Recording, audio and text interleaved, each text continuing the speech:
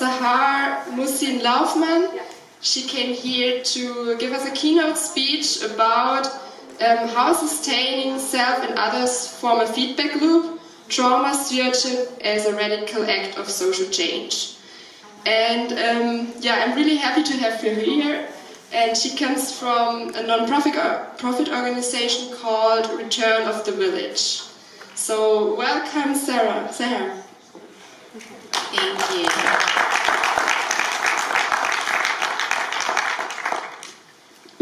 So I always like to start with a poem. Uh, and this poem is called A Vision. If we will have the wisdom to survive, to stand like slow growing trees on a ruined place, renewing, enriching it, if we will make our seasons welcome here, asking not too much of earth or heaven, then a long time after we are dead, the lives our lives prepare will live here. There are houses strongly placed upon the valley sides, fields and gardens rich in the windows. The river will run clear as we will never know it, and over it birds song like a canopy. On the levels of the hills will be green meadows, stop bells in noon shade. On the steeps where greed and ignorance cut down the old forest, an old forest will stand. Its rich leaf fall drifting on its roots. The veins of forgotten springs will have opened. Families will be singing in the fields. In their voices, they will hear a music risen out of the ground. They will take nothing from the ground they will not return, whatever the grief at parting. Memory native to this valley will spread over it like a grove, and memory will grow into legend, legend into song, song into sacrament. The abundance of this place, the songs of its people and its birds, will be health and wisdom and indwelling light. This is no paradisical dream. Its hardship is its a possibility. And that's Wendell Berry. So I want to talk to you about a few things today, like um, anti-discrimination work within the climate action uh, framework. This will include social permaculture, climate equity or climate justice, having a systems theory approach to analyzing problems, and structuring solutions, as well as the importance of intersectional movements for increased efficiency. I want to encourage you to decolonize your minds, your movements, and your organizations. And I also want to talk to you about trauma stewardship. Uh, I also want to start with a disclaimer. You wouldn't try to conduct an intricate chemistry experiment without like consulting a chemist. And in the same respects, when you're talking about like education to counter oppression, it's really important to find somebody who is trained in this field. Uh, oftentimes, somebody has an opinion on the subject, and if they aren't trained, that can be detrimental. It can go completely counter to uh, assisting with dismantling systems of domination. So, in many cases, um, defer to recognize knowledge in the field, which is often historical and scholarly based. At the same time, I own my privilege of education in saying that and, and understand that not everybody has access, resources, or inclination to get educated. In that case, I want to point your attention to the thousands of opportunities where somebody who's more socially disadvantaged than you could use a hand and believe me, you've crossed them. You've crossed these many missed opportunities. So just think about it. Just think about when you can like lend a hand. Um, also, contrary to popular belief, this is not a um, impulse gratification process. You don't hear a talk, go to a workshop, and then it's done. And so, as a master scholar, I learn stuff every day on this subject. So, let's start with social permaculture. Simply put, If one thing flourishes, so does the other. By nourishing and supporting more parts of a system, it is stronger and more vibrant in its entirety. So, uh, according to Diane Leafe Christian, author of the key book on intentional communities creating a life together, 90% of intentional communities fail, largely because of conflict. A big part of this is just like monocrops being the antithesis of healthy ecology, monoculture is the antithesis of healthy communities. We need diversity, both in how we plant and in how inclusive we are to the diverse spectrum of humanity. I'm strongly in the camp that this is not um, an either or or somebody versus another. So I don't think it's native versus immigrant. I don't think it's climate activist versus high CO2 footprint individual or bad politician. Um, I think about it in terms of a spectrum of change. So we have active change agents, and we have people who have yet to be awoken as change agents. And I want to share a quote with you by Gus Speth. Um, I used to think that the top environmental problems were biodiversity loss, ecosystem collapse, and climate change. I thought this with 30 years of good science, we could address these problems. But I was wrong. The top environmental problems are selfishness, greed, and apathy. And to deal with those, we need a spiritual and cultural transformation. And we scientists don't know how to do that. Have you ever heard the phrase, hurt people, hurt people? or um, that every action is either a request for love or an offering of love. Uh, trying to view things through this lens may assist us in engaging a revolution of the heart. And I'm not talking about spiritual bypass where our personal peace and pleasure uh, is overshadows our responsibility and culpability in the struggle for equity but innovating the revolution toward connection and healing. Co creating wholeness, both for our planet, our movements, but also for each individual. From the Fellowship of Intentional Communities, we are embedded in larger systems that do not encourage beneficial relationships. Our overarching economic system sacrifices the good of people and the earth to the goal of achieving short term profits. It maintains itself by fostering systems of prejudice and exploitation. Racism, sexism, classism, heterosexism, ageism, ableism, all those constructs that separate us and elevate some people's good over others. Those systems affect us deeply often unconsciously, no matter how much we might deplore them and struggle against them.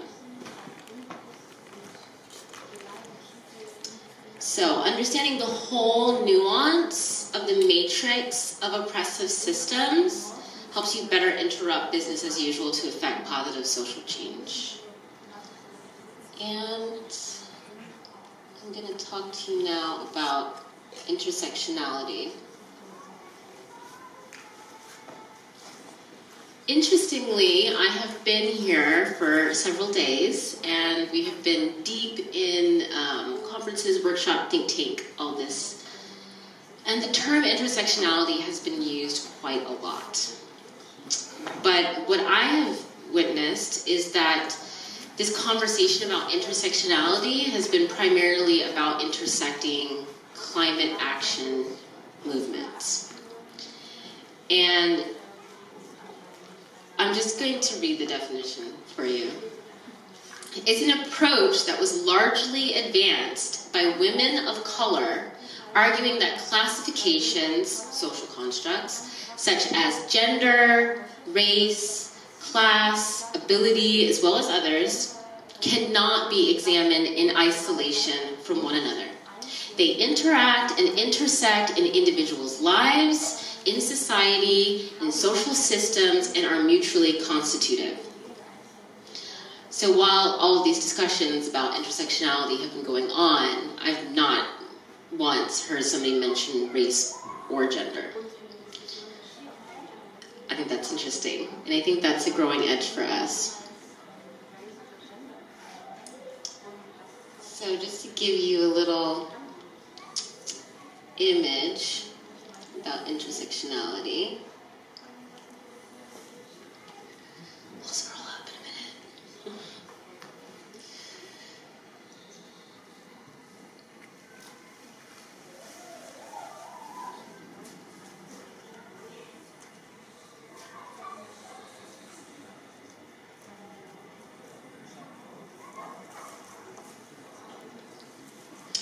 In the early civil rights movement, we found things like racism in the feminist movement, uh, or homophobia in the racial justice movement.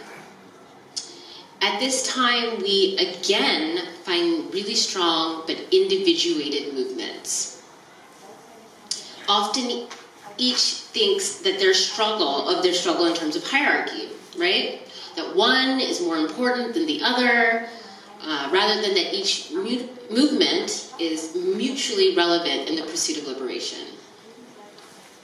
And that the intersecting and unification of these struggles is an important part of their ultimate success. Uh, so, Forbes and like the McKinsey Business Institute did all these studies on diversity, and they found that like when you had diverse workspaces, there was um, like increased financial capital, uh, more innovative solutions. And this is just, as I was mentioning again, about diversity versus monocropping, right? This is what happens when you have diversity of perspectives. You are more innovative with your solutions, and a major focus of why we need to turn towards intersecting our movements. Okay. Again, from the Fellowship of Intentional Communities. The key insight of social permaculture is that while changing individuals is indeed difficult, we can design social structures that favor beneficial patterns of human behavior. Just as in a garden, we might mulch to discourage weeds and favor beneficial soil, bacteria, in social systems, we can attempt to create conditions that favor nurturing, empowering relationships. Systems thinking allows you and your organizations and communities to see the larger design, to gauge how seemingly unrelated actions have consequences. System thinking allows us to test our own assumptions and resist the urge to make decisions based on opinions or limited information. Organizations that understand how interconnected, complex systems work in their industry can leverage that knowledge for benefit of their communities and goals. So, permaculture has three core ethics, which we saw on the first slide care for the earth, care for the people, and care for the future. The third ethic is often framed as fair share share surplus and reduce consumption. These ethics can serve as a guideline for weighing our decisions and actions. Before we build a structure or engage in a new endeavor, we ask ourselves, how will this impact the environment around us and what resources will it use? Will it provide for people and community and future um, empowerment and equality or the reverse? Asking critical questions is core to creating positive social change. We think about how much trash, fuel, or carbon our lives are generating. We should also question our biases. The basic necessities that we are access to that others are excluded from. How we can leverage our privilege to co create equity, and how our words or actions might generate suffering.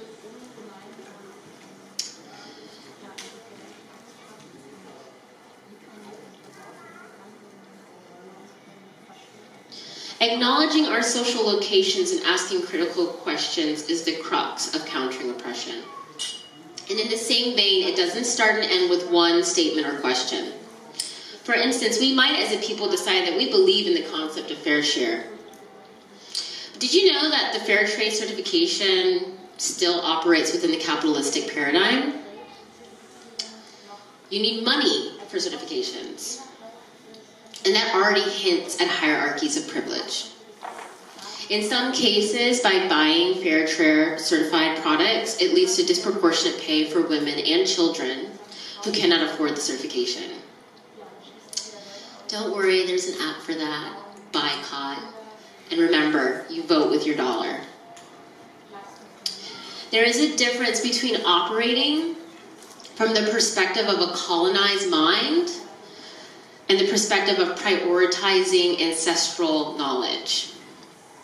Ancestral knowledge, cultural preservation, and ecologically minded earth care are all forms of countering oppression. I want to talk to you about a couple models of identity formation that are utilized in multicultural competent counseling. So um, there's racial identity formation, but also integrated models that take into effect other social locations. I'm sharing this because as a scholar and researcher, I've been observing German cultural behavior, and I uh, I've definitely arrived at the understanding that this is something that's really needed. so I'll just go over a few of the models. Um, from the integrated model, the first stage is conformity, similar to assimilation. And the second is dissonance, so it's confusion from experiencing discrimination. They want to assimilate to the dominant culture, but see how they are still excluded for being different. So take somebody who has an invisible um, mental health uh, disability.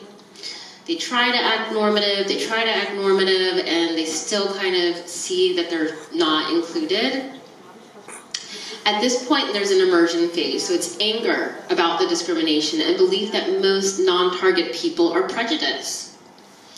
In the emergence stage includes sticking to your own group, avoiding contact with the dominant group, and the internalization stage is noticing negative qualities within their own group that not all non target people are their enemy, that discrimination is their enemy, and that they can fight against it. They expand their identity beyond social location. That's when you come to integration. Interestingly, I've noticed that the term integration is used quite a lot in Germany, and what it's really talking about is assimilation. It's white is right. Go with the dominant. Um, a lot, oftentimes, the social location of language is used as the barrier. So, since there are a lot of white people in this room, I will go over the white racial identity formation phases and stages. The first is contact. You're unconsciously racist, holds to the idea of being colorblind, doesn't believe in racism. The second stage is disintegration. So the experience forces you to confront reality of discrimination. This is often coupled with guilt. Now, guilt is a trauma response, and we'll talk about that a lot more in the workshop. Reintegration is this blaming the victim, the belief that white people are superior, which is why they have more privilege. The fourth stage is pseudo independence. It's the first stage of positive racial identification. So you no longer believe that white is superior, and you look to POC but not yourself to confront and uncover discrimination. You comfort POCs in their struggle in effort to feel like you are no longer racist. You're still confused about how to be white and non racist. The fifth stage is emergent immersion which makes a genuine attempt to connect to your own white identity and to be anti racist. There's a deep concern with connecting to other white people who are confronting racism. And the sixth, and of course, you can use isms, and you can interchange, like with the integrated model, to different social locations. The sixth and final phase is autonomy. There's a clear understanding and positive connection to your white racial identity while also actively pursuing social justice. So let me just take another moment to explain how this looks. You can take a person, say a person of color, who thinks that they just need to assimilate as much as possible. They need to be as German as possible and then they'll be accepted. And they're totally happy to do it. They are welcome to colonize their own mind and being, cut themselves off from their cultures of origin, and adopt whatever the stance is. And maybe that stance is capitalism, right? And at some point, they experience racism, uh, and it's so diminishing to them that they can't actually conform entirely. There's no way for them to. They're like struck with this I've got to do it, right? I've got to recognize that I'm never going to be completely included. And then they reject, they reject the dominant culture. They're like, all white people are bad or whatever. They go into their own bubble and they're like, and then maybe there they, they experience ableism or homophobia. And they're like, you know what, actually there's problems all across the board. And then they decide, you know, I am a multicultural being and I get to choose who I am. What is my identity? Separate from social categories. I am a part of them, I'm connected to them, but I am still more than that, yeah? And that's when that dynamic tension from the trauma starts to release. So we're going to talk about power, and that really um, fits into this as well. I want to talk first about how the oppressor becomes the oppressed, or how the oppressed becomes the oppressor. So, you know, like originally in Germany, it was like indigenous tribal culture, right? And then the Romans came in and colonized and really actually started this cycle that kept getting perpetuated. Um, in the US, we talk about this concept of the house nigger. So, like, there were slaves in the field, and then they would take one out, and they would be like the house one, they'd be the main one, and then they'd be whipping the slaves because their only experience of freedom and autonomy was in the perspective, the role model of their oppressors. So they mimic their oppressors the second that they have it freedom or autonomy. And this is why many movements unconsciously perpetuate hierarchy, right? Once they have become more established and have political funding, because this is just what we see and we start to internalize it. So there's several forms of power. I'm going to use Starhawk's. Um, I'm going to use Starhawk's model here. So power over is ownership or connected to those who have it. It depends on coercion, like the power of the state, right? And power over and under are complementary. And then there's power with, right? Community, solidarity, it depends on mutual care, respect, cooperation. And then there's power from within, right? This is spiritual or emotional or intellectual. It depends on trusting your own experience, right? And taking initiative. So we can see that this final stage of racial and integrated uh, models of identity formation phases and stages is really in tune with this power from within. Um, so let's talk a little bit more about power. Power is often defined through agency, and agency is the freedom or ability to act independently or make conscious choices or decisions for yourself. So, power is the ability to affect the world or change your circumstances. This is often determined by access to resources, unequally distributed globally, wealth, whiteness, citizenship, patriarchy, heterosexism, and education are a few key social mechanisms through which power operates. Social power, or how one is viewed and the self image one has, often dictates a sense of entitlement or lack of it. The more marginalized the group or groups that people are a member of, the less they are looked to for solutions.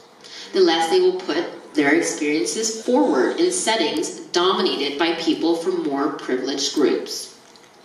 This determines who dominates the situation and whose opinion is taken seriously or the legitimization of authority.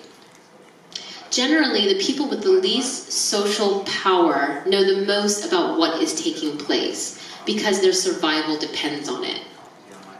The more the setting is dictated by the stand for the status quo, the less the particularity of their experience will be expressed, relegating those from the dominant culture with less information.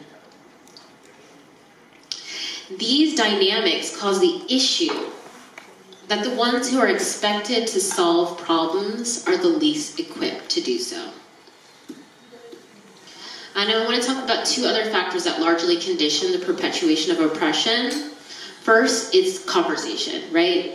The power of our words, unconscious statements, dialogue, narratives. And again, we'll go into this in more depth in the workshop. So this is such as how we have a conversation about oppressive dynamics, right? Including like classic faux pas or this nervous tendency to not know how to talk to someone across social locations that stops you from even making a bridge. The second factor is trauma. So we live in a world where just about everything is bowed and rifted by systemic oppression. This affects the lives of all people within the system, uplifting a dominant narrative and suppressing the stories and perspectives of, of the marginalized. This affects as well the degree of happiness or trauma warping mental health of people in the system. Which means that as a result, and in many cases, short term feel good is far outweighing common sense. Given that people are walking around with a myriad trauma triggers with no disclaimer, you can imagine if you trip one of these seemingly invisible landmines, you can end up on somebody's wrong side, and no amount of common sense will help certain information get through. That's why trauma stewardship or holding fast to a sense of kindness and unconditional positive regard can help us to build and mend bridges and in turn be more effective at our goals of inclusion and unifying. Just remember, it's not about being right. It's about helping others to feel right, both with themselves and with you, so that you can exchange ideas and co create positive movements. So, many who have privilege based on holding non target identities are traumatized and deformed by guilt or shame and a sense of diminished integrity as they live within a system that limits recognizing humanity's full potential. Those without privilege, based on arbitrary social categories, are pressed into ways of being that discount their dignity and the authority of their narratives, effectively limiting their agency or access to self determination. we have to learn how to talk to one another, how to bridge across barriers of stance, privilege, and awareness to form bonds that lead to a unified movement for the sake of our planet.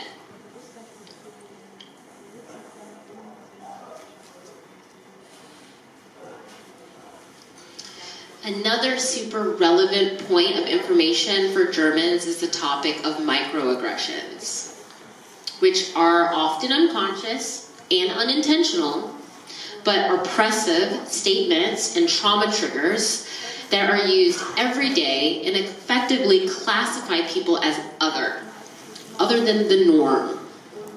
Right? If one more person tells me to learn German, I swear. as if I have never ending free time and a support structure. So we need to learn how to talk about this and how to talk to each other across sociocultural barriers. Only when we heal this deep rift of wanting to be heard and honored as human beings with inherent value will we begin to step forward together into a sustaining future.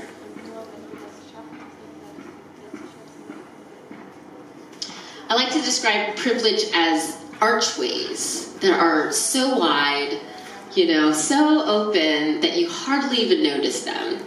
but manifest like doors that are closed and locked to other people. To continue this analogy, imagine the labyrinth like maze that we need to go through to get anywhere near along the lines of the same path as those who barely notice these thresholds. Right? It leaves people depleted, exhausted, and not nearly as far along on the basics necessary for survival. And it's from this place that there's an expectation that others will come over. I mean, I've heard this a ton of times, I've had this conversation so many times this week. It's this we want to have intersecting movements, but they should come over here. they should come over here and join us. Join us. It's always this, right? And again, this is the hierarchy. Why why can't we just join one another? Why can't we create collaborative spaces? Why can't we create collaborative movements? Why can't we have Skillshare events where we're all coming together and resourcing each other? So I think it's really important that we talk about climate justice or climate equity. And it's the idea that the more developed countries should first move towards lowering their emissions before less developed.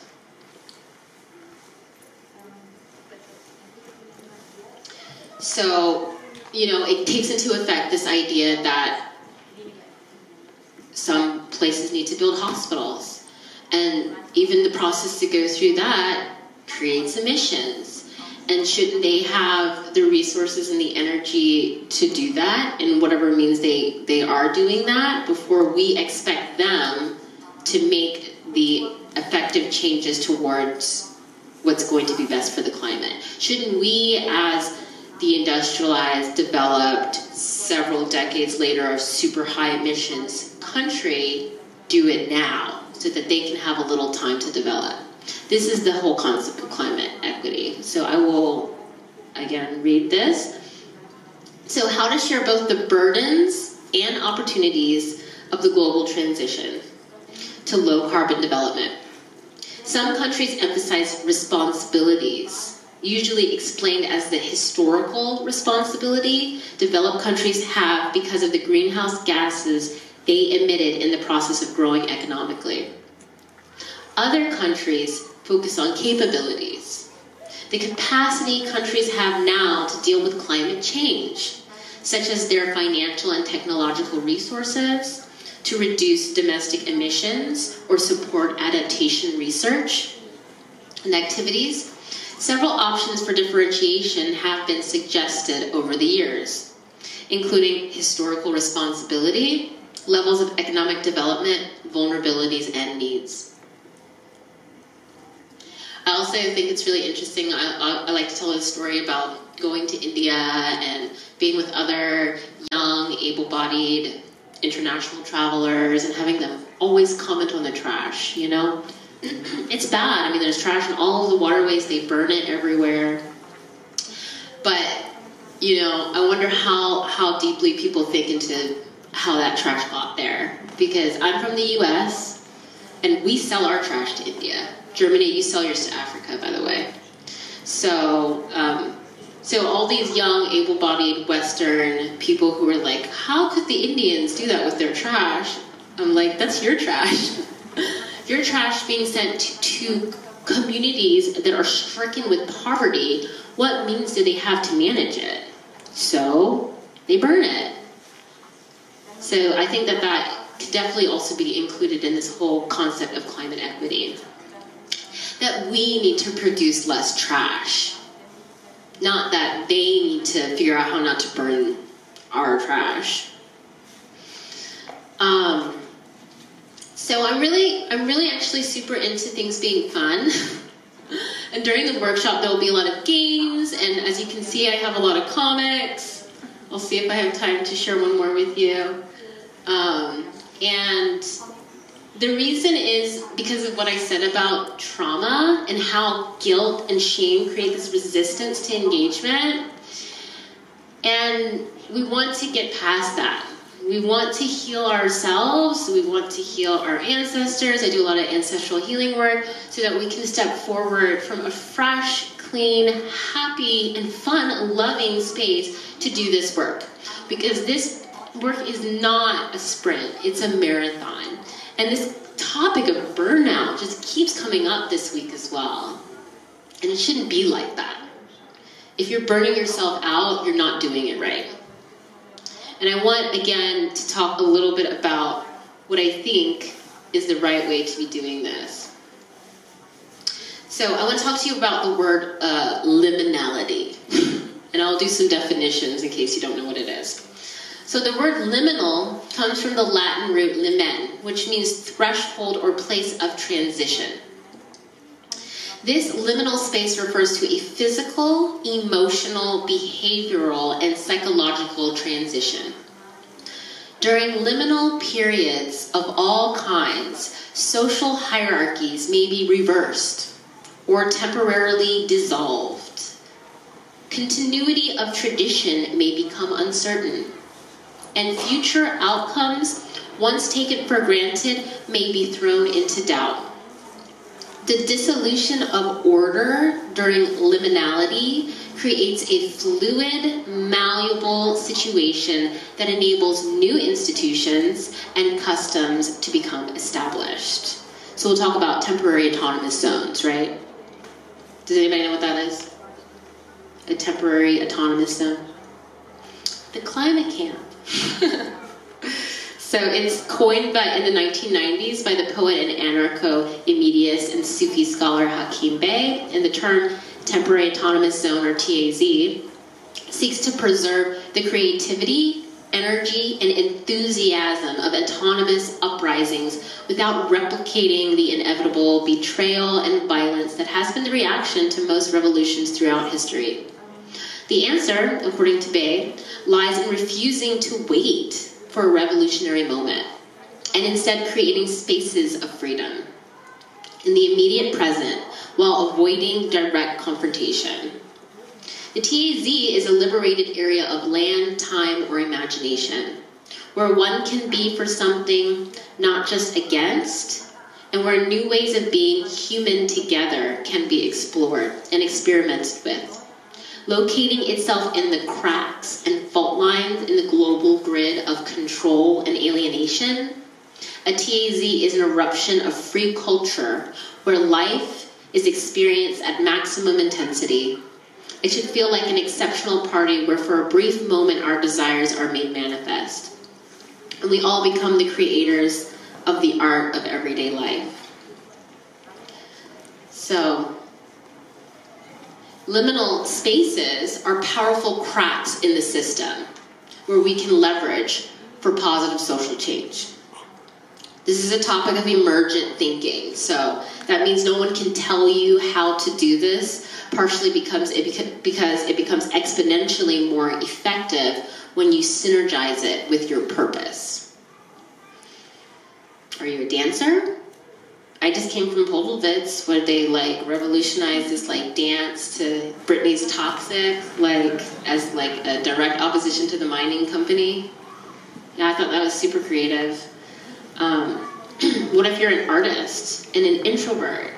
You know, there's this. I love this story. I tell it all the time. There's this case of these introverted activists that like sewed uh, to craft these love letters uh, and they would sit them in shirt pockets in retail stores. And they actually offered them to board members of a corporation who took into advisement what they were saying and actually changed one of their board votes towards something that was that basically reached the aim of the activists. So again, I want to talk to us about how to remember this revolution of the heart, creating bridges, integrating personal purpose, and how we're making movements more effective, more diverse. Because diversity, yes, it's social location, but it's also personal identity, right? So you too can revolutionize and synergize your particular passions and purpose to find nuance within the system that you can leverage for positive social change. Thank you.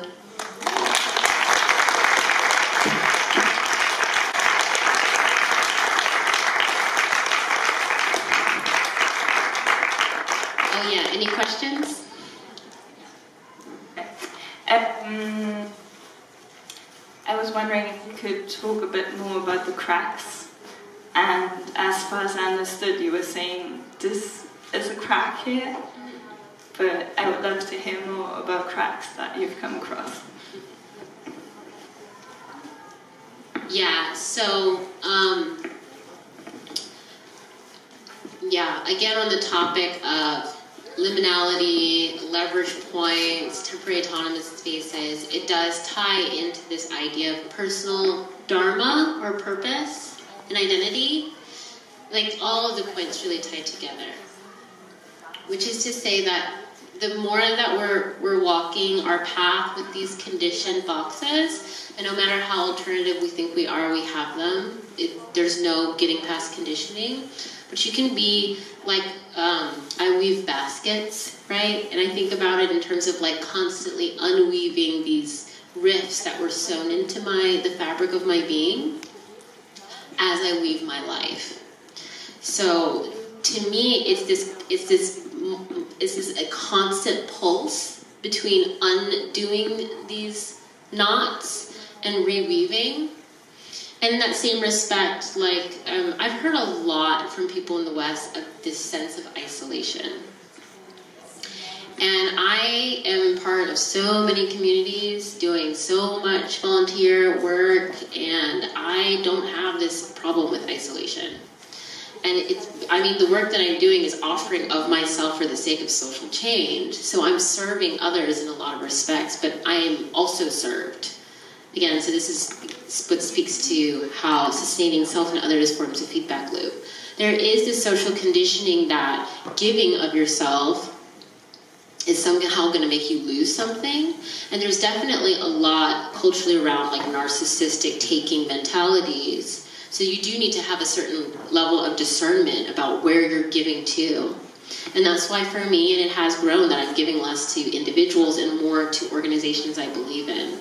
And usually the organizations are obscure, they're marginalized, you know, they're, they're under these larger umbrellas where those people have most of the funding and are sitting pushing paper, and these guys are just on the ground creating creative projects.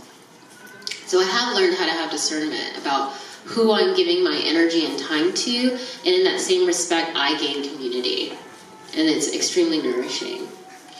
And um, that's why I mentioned a bit about emergent thinking, because you, you really actually have to allow yourself to feel what what drives me, what does my heart sing for. I am a believer, and I believe that we came with a purpose, and each purpose is individual and unique and completely necessary, and that we can integrate we can integrate whatever it is that drives us. I mean, we've been talking, I, I think I brought it forward like a dozen times in the 2020 conferences that what about the artists? Artists could create comics about climate action. I haven't seen a lot. I'd like to because isn't that like a really effective way to get this message across, you know?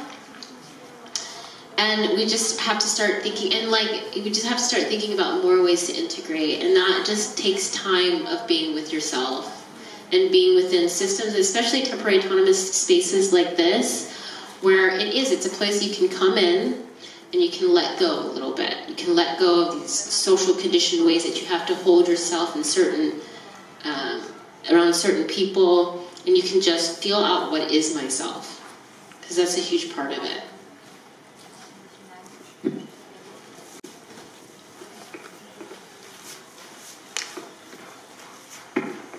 I, I will also comment um, um, about the, the autonomous zones. I am confused also about it. It's my first. And I'm confused about it because I feel it's like a privilege and a space to escape where usually when you do climate action from, I don't know, where the international, at least, people I know, usually you really have to confront in your community, and we don't have this privilege to do it somewhere and like actually it, it seemed a bit more individualistic to a certain group of people who speak, speak in a certain way, who believe in a certain way. It's not as open. And it was really, I always wanted to speak with people about this, what they think and how. And so I'm really confused about such space. And, and I would love to have a conversation or have an open space session to speak also about that. I think this is really important, and there are a few things that I have mentioned in spaces like this. One being, um, if it's not accessible to the poor, it's it's not revolutionary. This is the quote. I think maybe you guys have heard. And so the fact that it that a lot of these spaces are more affordable is really encouraging to me. The second is ability. I absolutely look around to see like how accessible it is for, for people with different abilities, and that's really really huge for me. And so if I don't see anybody with varying like physical or mental abilities, it's problematic for me. Then another one, which is often invisible, is children. Um, Earth-based spaces are really, really big on acknowledging that children are human beings too and should be acknowledged and honored. And my kids are behind here in the kinder space, being watched so that I can teach here. So in that respect, and as a marginalized person that's low income, I do need to be funded to be able to come into spaces like this, and I am being. So I think that these are really important critical questions, and it's why I didn't I don't go to Burning Man, you know, and I've been invited because it's problematic it's really problematic. Uh, and so these, and I want to also talk to the Just Climate Camp while acknowledging that this is the original climate camp that has now started picking up everywhere. And there I saw um, white people with dreads covering their hair in solidarity with people who were um, triggered by cultural appropriation of the sign of dreads.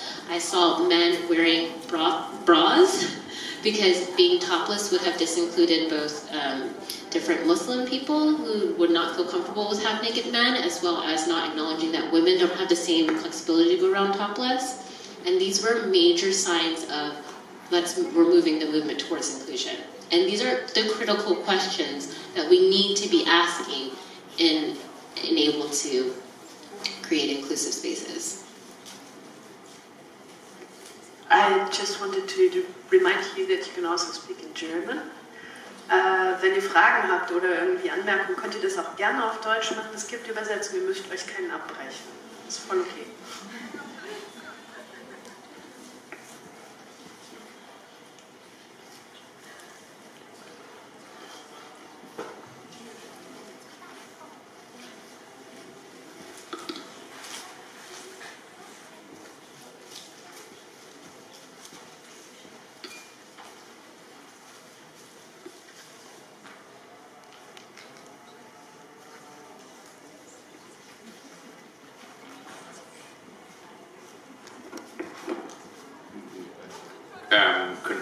This conversation of is this camp like a revolutionary space? Uh, it has been said it's not. Like, what would push it kind of over this limit? I'm asking myself what kind of practices I don't know would be would be revolutionary.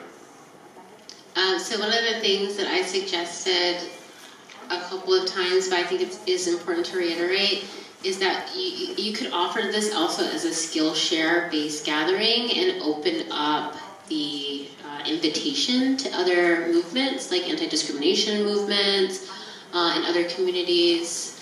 Um, again, it does take some kind of focus, and in these cases, I've often suggested that you need an ambassador and a liaison person who's familiar and works with other counter oppression based movements and organizations to be able to go in to extend the invitation to create the bridge of um, building relationship. But yeah, that that's something that I think would be huge in terms of like I don't think a lot of people know about it or know what's going on um, outside of the climate action community. And so we are sharing it. Uh, also, Germany is highly uh, under digitalized, as a, I've just noticed. So there's not much there's not much ways for people to plug in if they don't already know what they're looking for. So making sure that there's some kind of digital platform where people can connect in, whether it's more social media marketing or um, even video conferencing space, that really I think helps not just with creating more inclusive and diverse um, invitations and uh, attendees, but also with helping people who are here sustain in terms of feeling connected to people in the movement come out of here.